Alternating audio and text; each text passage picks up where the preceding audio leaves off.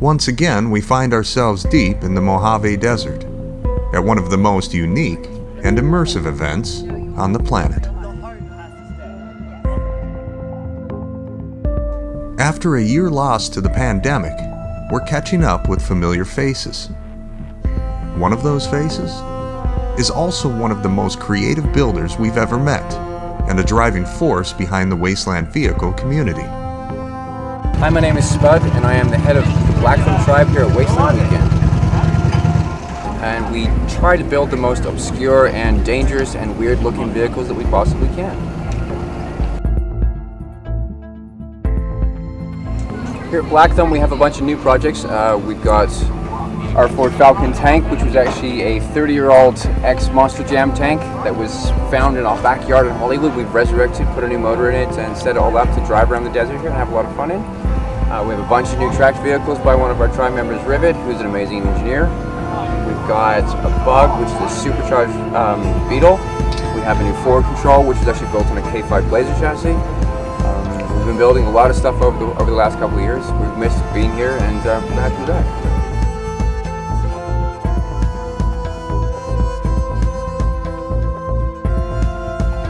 There's a small crossover from the rat rod culture into the post-apocalyptic world. Uh, a lot of the PA cars tend to be fairly rusty. They tend to be fairly beaten, fairly built out of stuff that's, you know, most people just throw away.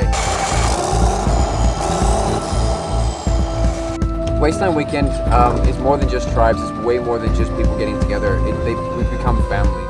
You've heard the word family used a lot in rat rod culture, and you'll hear it here too. Dirty, rusty, awesome family.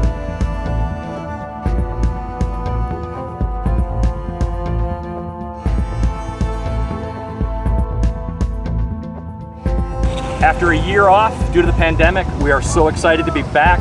You'll likely recognize Wasteland Weekend co founder and event director Jared Butler from our last visit here, where he debuted a super cool 39 Dodge. Now, he's upping the ante with a vehicle from the actual filming of Mad Max Fury Road. So this thing started, probably started its life in 1948 in the UK, went to Australia, went to Africa, back to Australia, now into the United States, and she's running again. Uh, but if you take a look, the roof was chopped, which gives it this cool look. But then if I get inside this thing, which is not easy to do, I am basically looking out of both the sunroof and this tiny windshield at the same time.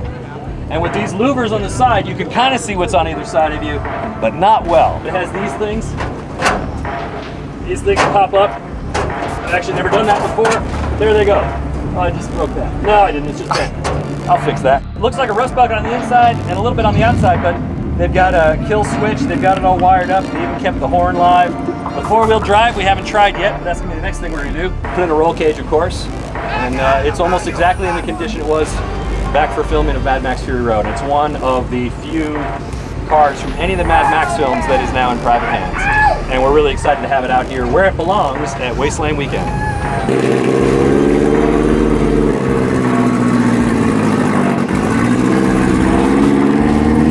So when I first saw Fury Road, what excited me about it it was, was the first time I'd seen lifted rat rods. And so I immediately went out and the, the car that I had out here last time that you guys featured is a 1939 Dodge. I wanted a pre-war car that would make a really nice rat rod, but then I wanted to lift it and make it a four-wheel drive. So that's the intersection that I really like, that sort of post-apocalyptic off-road ready mixed with the rat rod aesthetic. We, we worship rust out here. Oh, and rust there is. And patina, and all kinds of crazy, artistic creations.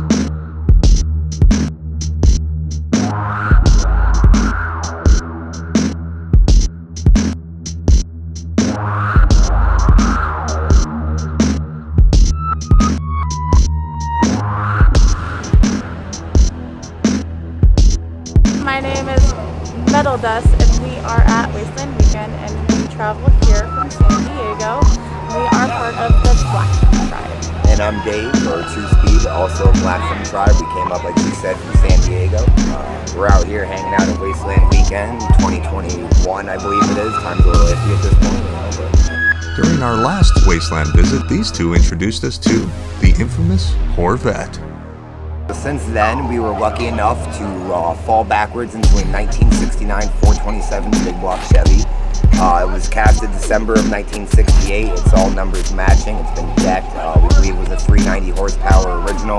We got a Weiand tunnel ram on there, original 80s, 70s, 80s piece. Uh, twin Edelbrock 500 CFM with a Hilborn style scoop.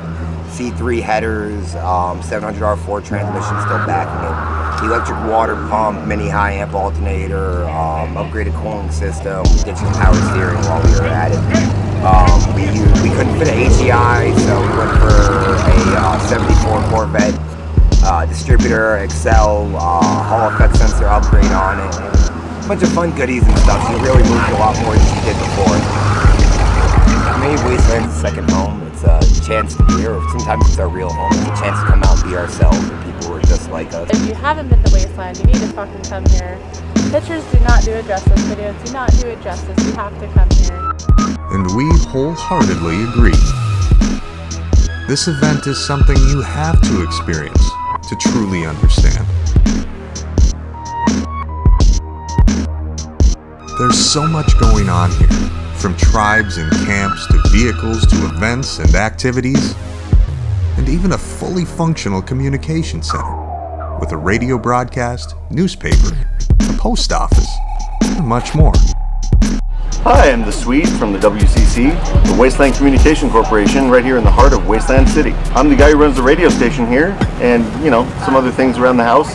It's a pretty big, involved operation. We've got the post office, we run a print newspaper every day, the FM radio station, we've got communications radio going, a whole meteorology department to do uh, weather forecasts for every day, and a legal department. So many people, even if they don't have a theme camp, even if they're not like in the heart of the city, they come here and with these incredible creations and it's you know it's not quite like a rat rod but there's so much rat rod culture like just baked into the post-apocalyptic field stuff that it's it's like nowhere else on earth because not only are all these vehicles here when you go to a regular car show even if you have like a section set aside for post-apocalyptic vehicles or even if there's like five of them that came out together you're on a city street you're in a downtown it's fun you're shooting the shit with all your friends.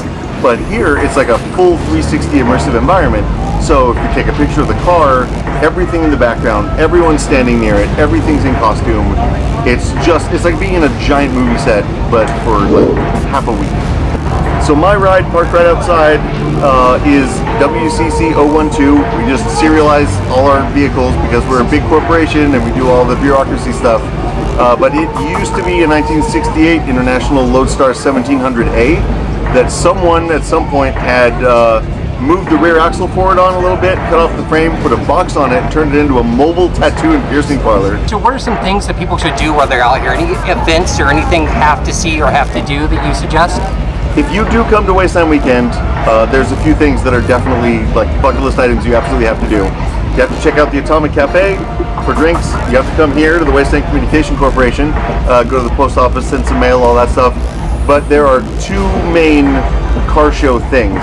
The Black Thumb Tribe has a meet and greet where they park all these great cars together and you can just mingle with all of the other car builders. It's a lot like a traditional car show where everyone there is bringing something and you can exchange ideas, and get inspired by what each other are building and there's it's a it's a weird thing because you know we're all kind of copying each other a little bit, but every you know every new idea gets kind of dispersed uh, within our our whole family here, and that's great. And then of course, you know the whole city. Just take a walk through the city and just look at all the crazy. Uh, the other vehicle event that happens is the official car show and car cruise. Boy, do we ever love a good car show and cruise.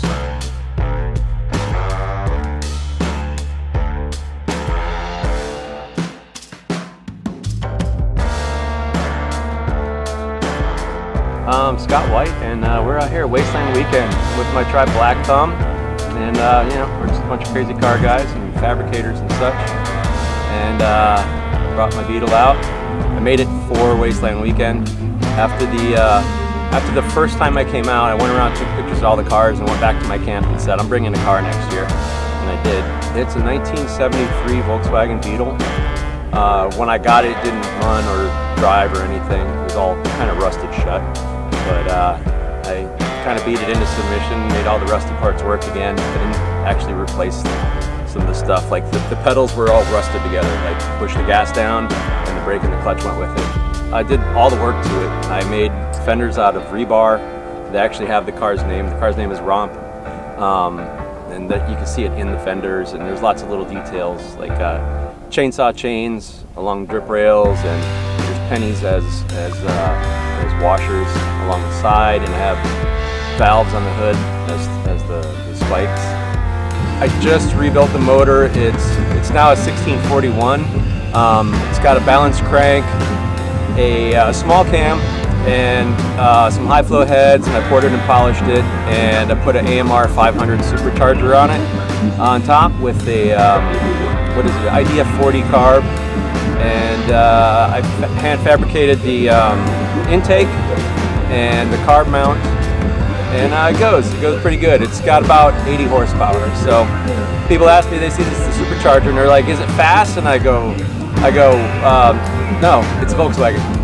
The rat rod culture and the post-apocalyptic is kind of kind of the same thing. We don't need pretty paint jobs, you know. We need uh, functional things, and we tend to really reuse a lot of you know stuff that we have to make to make everything unique and uh, make it our own style, you know. And we're not afraid of rust. And, things that rattle and shake to death.